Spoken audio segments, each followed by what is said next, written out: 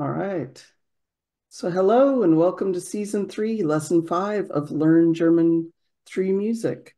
We're going to be talking about Mother's Day and Father's Day in Germany and Austria today. And so I want to welcome welcome my two favorite people in the world. Uh, we're actually on camera today. Uh, say hi, introduce yourselves. Hi.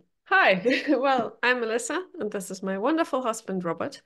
And together we have the Haunted Tales podcast.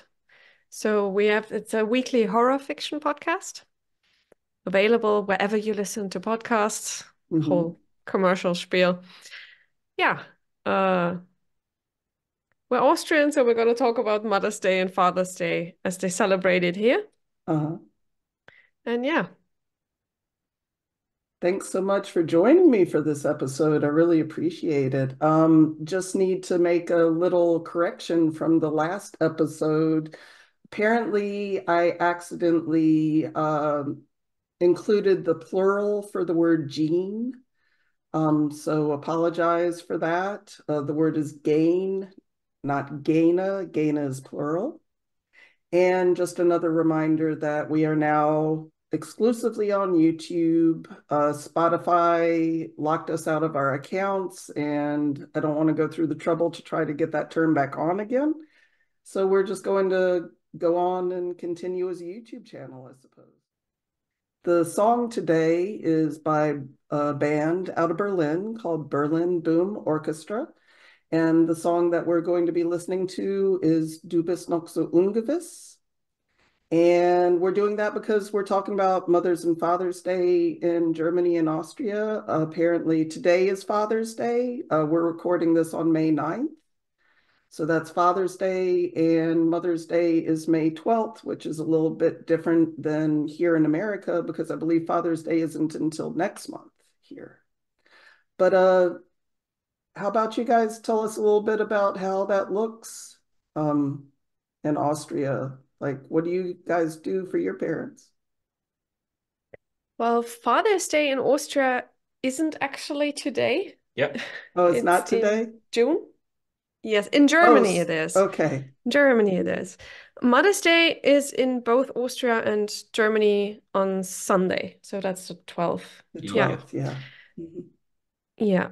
Uh, and in general, uh, especially for Mother's Day, uh, most of the time, most people just go to a caf cafe or you give a small gift to your mother or your wife if she you've got kids. Um, most of the time, something simple like flowers, a bouquet of roses, something like that. And in school, we always had to do crafts, of course.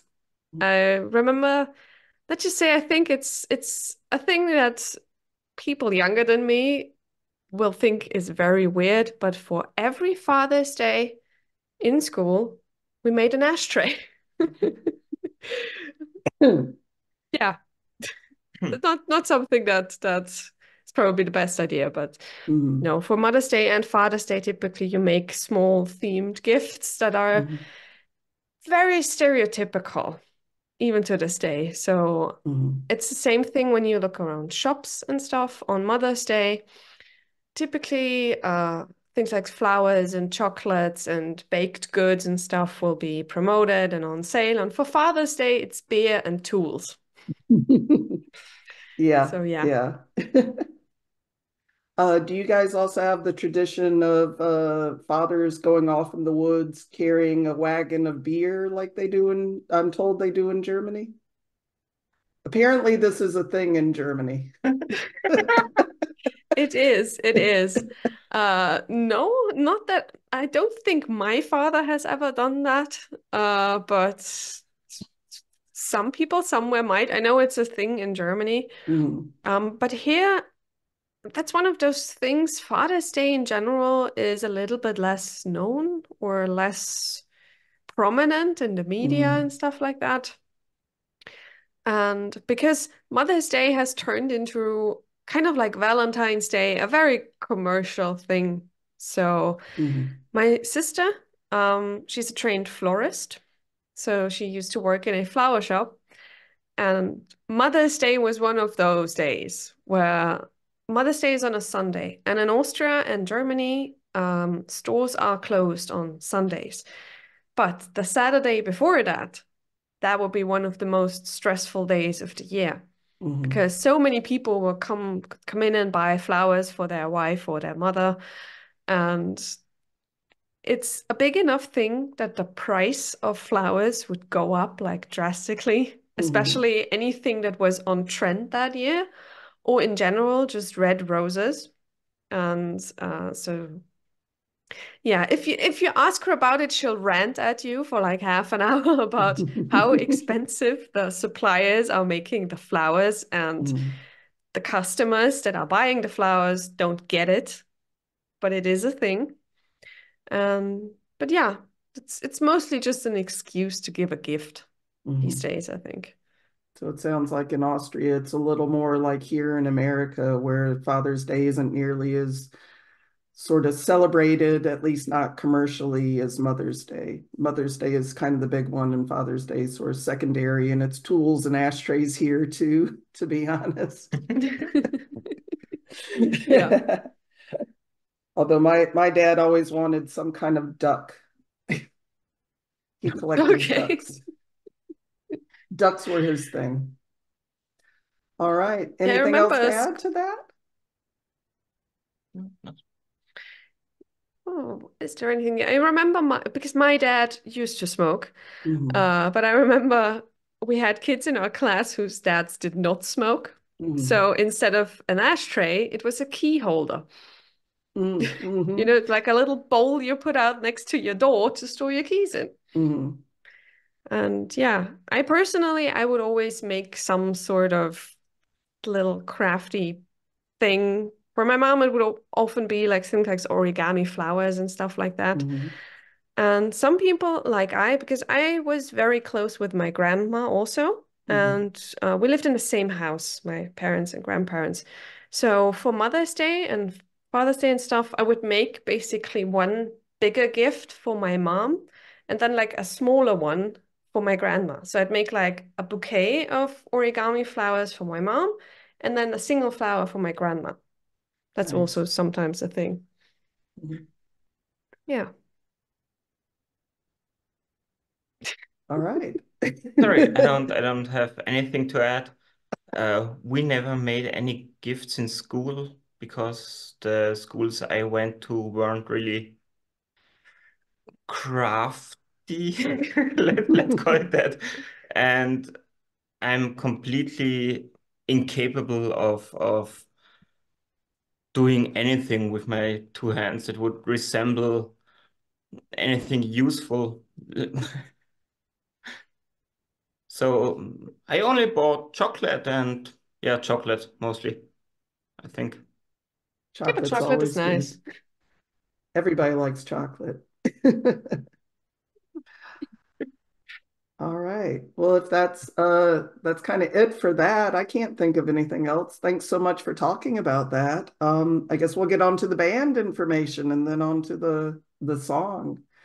Um, so what I have here, I just usually read the Wikipedia stuff. Berlin Boom Orchestra was formed in early 2006 in Berlin. Some members came from the Berlin ska band Squawk Quadrat which broke up in 2005. Having gotten their start playing Club Kato in Kreuzberg, they blew up to become one of the most loved German speaking ska bands playing all over Germany. This is according to their Wikipedia, not to me.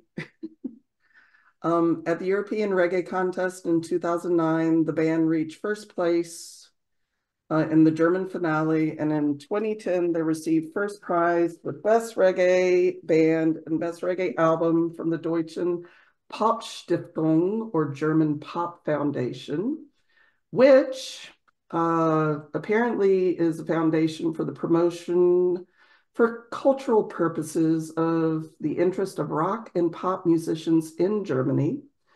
This is fulfilled through support measures in the field of art and culture of rock and pop musicians. The German Pop Foundation supports outstanding artists and provides support in the field of further education through mutual information, coordinating efforts, and exchange of experience, as well as the representation of common interests towards the public and the responsible authorities in the field of art and culture of rock and pop music.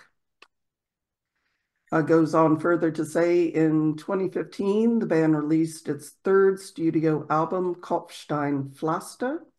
Their fourth album, Reggae Punks, came out in 2019. Uh, Berlin Boom Orchestra often speaks out about political themes in their song text and in interviews. The band speaks out actively against homophobia and sexism and supports the campaign called Make Some Noise Sexism and Homophobia Out of My Music that seeks to offer an alternative to the homophobic, sexist mainstream in the music industry. They also frequently speak out about the situation of refugees and asylum seekers in Europe in such songs as Nine Mann and Rise Reisefieber and Murder, and they have frequently played at charity events for refugee humanitarian efforts. The band also frequently writes songs about how society deals with National Socialism, and the band has played at countless rallies against right-wing violence. For the band, dealing with the history of National Socialism includes confronting anti-Semitism outside of the neo-Nazi scene, including the Middle East conflict, which is a big topic these days. And the band has four albums and three EPs to date. Um, so I picked this song because um, I think it's probably one of the most heartfelt, beautiful, tear-wrenching songs I have ever heard uh, from an expectant parent. Um, I think it's just gorgeous, and I hope everybody else will agree. Um, so I guess here it is for the first time today, the video for Du bist noch so ungewiss from Berlin Boom Orchestra. My cat's attacking me. We'll be back right after the video.